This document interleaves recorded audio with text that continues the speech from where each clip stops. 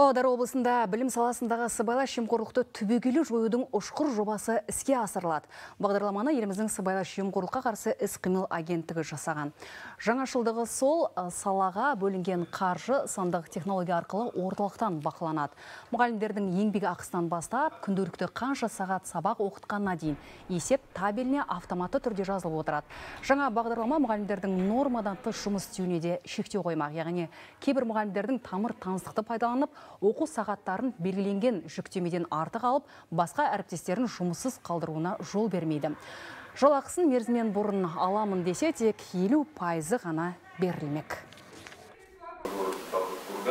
Талдықорған қаласында білім бөлімінің есепшісі басқа әріптестермен амыраласа, небары екі жылдың ішінде 4,5 миллиард теңге қаржыны ұрлап кеткенін білесіздер. Ол жерде ақша жымқырудың тұтас жүйесі қалыптасқан. Жаңа жоба осы білім саласындағы жемқорлықты тамырымен құрту мақсатында ұсынылып отыр.